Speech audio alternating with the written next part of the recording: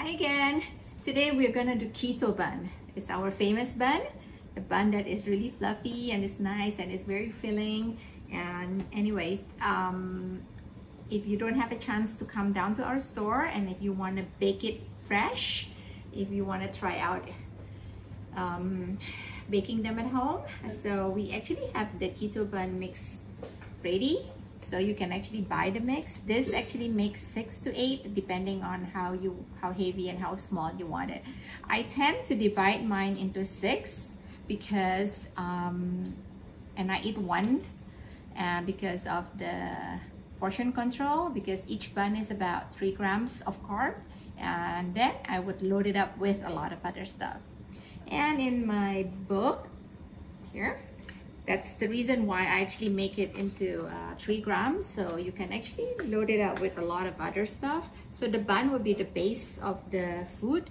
And then um, it's like an exchange of the breads and rice staple that you will always um, got used to. So this is an this is an alternative.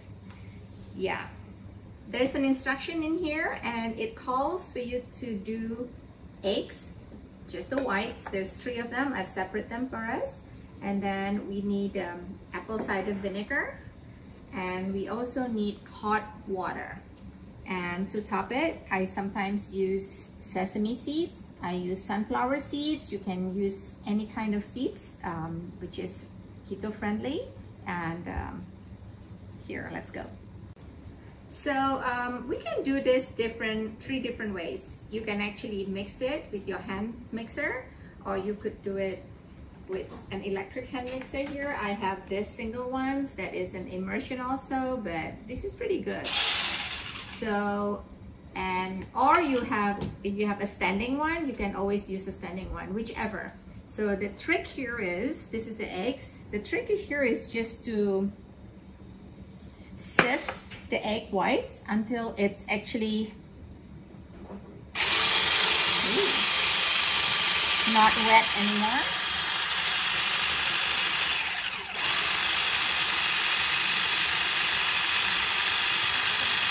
If you're not using a hand mixer that is electric, it's gonna take a while, but it's doable. So you don't have to have the electric one.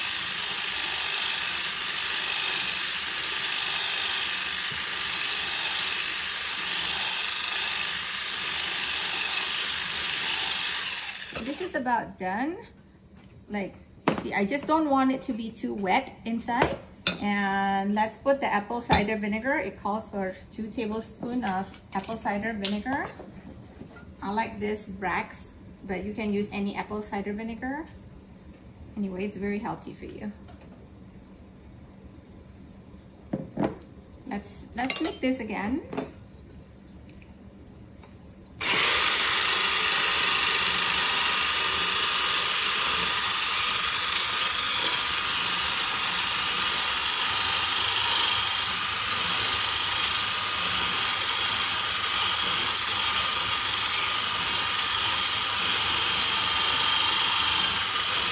this is a good, you can see that that's a good amount and there's no more water underneath there. You cannot find anymore. If you could see it from the bottom maybe, there's no more liquid of the whites. That's a good. And then inside here is this. So we'll just do that. Hot water. And this is the tricky part if you're doing a hand mix, but you, you should be able to do this slowly.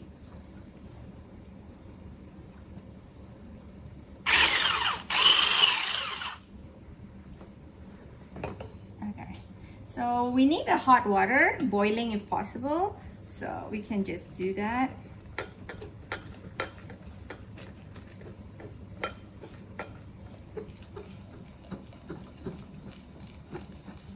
The hot, there is psyllium husk in here.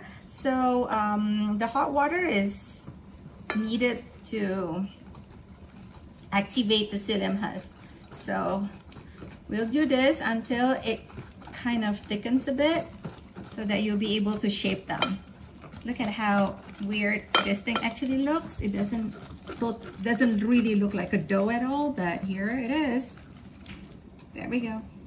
So we'll just stir it in with a spatula. Um, this is ready to shape now like this.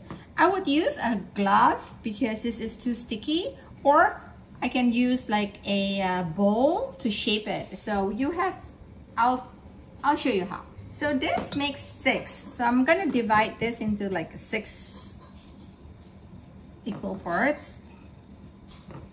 You just have to ballpark this. So I'm gonna take one portion.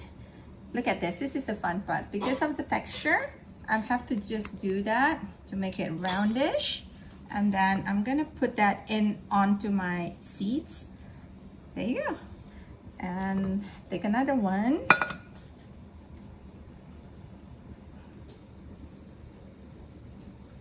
And I'm gonna shape it like that. It shapes easy actually to do this, but you can always do this with hands too because it takes practice to do this. But you need a glove because this is totally sticky. I have my gloves on. Okay, so the trick, like I said, it, this is very sticky, so you don't want to hold it with your own hand. So you can actually do that. You can make it round if you do that. And then you'll place it there. So we're gonna move this here.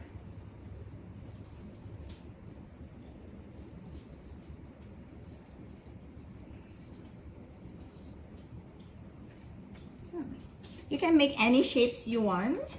Um, like um, for instance, if you are making a, um, a hot dog, you can actually shape it into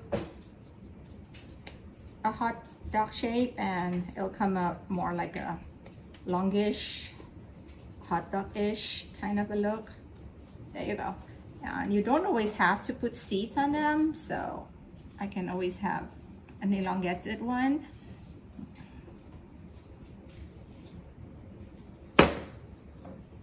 And of course for my hamburger patty, I like it round as my patty is round. And for those that doesn't want to do any seeds, you don't have to, but if you do, there you go. This is round and a little bit more flat, so.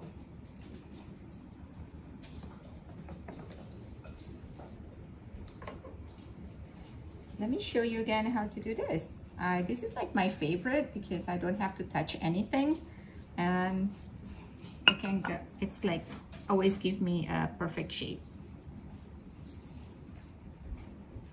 So um, here, this particular oven calls for 175 degrees, but I know I have friends who actually does it at 168 degrees.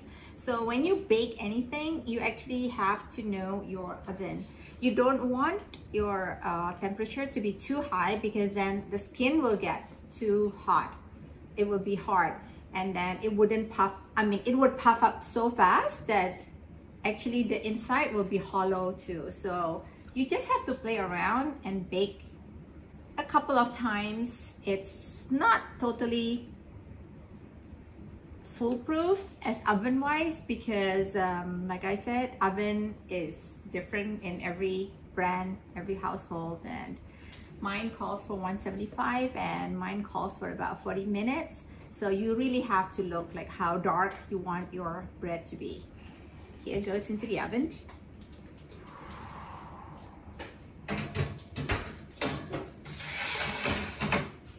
It's 40 minutes. Now let's take a look. I think it's gorgeous. That's the color I want. And that's, yay! Um, because of the texture and of the, um, the way this thing is not made of regular dough, um, so we need to move this right away to a rack or else the bottom part will be very, very, very wet. And I don't like my wet, soggy bun. Be careful, this thing is really hot. So, but I don't know. I have very strong hot tolerance.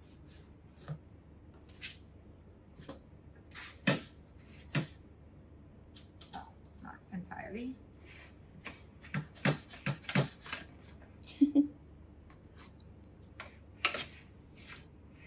There you go. We'll let it cool. And you can enjoy it the way my suggestions or you can make your own. And if you could tell me about it that would be great too